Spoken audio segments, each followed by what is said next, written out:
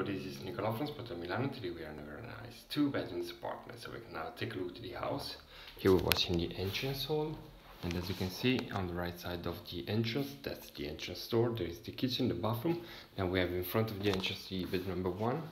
And then the bed number two, which is on the left side of the house. So here we are in the kitchen. As you can see, it's very nice and very spacious. We are on the ground floor. Here is the TV. That's the the table which is uh, in a shape with the kitchen. As you can see here is the sink and uh, the cooking station.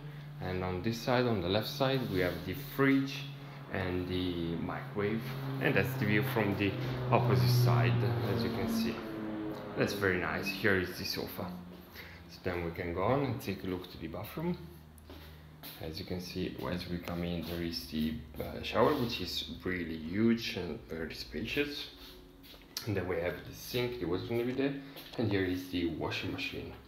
And here is a view from the opposite side and also from here you can appreciate the spacious um, shower. So here is the bed number one which has a single bed which is up here. Uh, down here there is the sofa which is very nice then we have the wardrobe on the right side and the desk as you come in uh, in front of you. So which is uh, very close to the um, to the to the window. So then we can go to take a look at the last room which is the bed number two which has a double bed in this case. Here on the left side we have the wardrobe. There is also a sofa and there are two desks as you can see here. And now we are walking around the bed okay.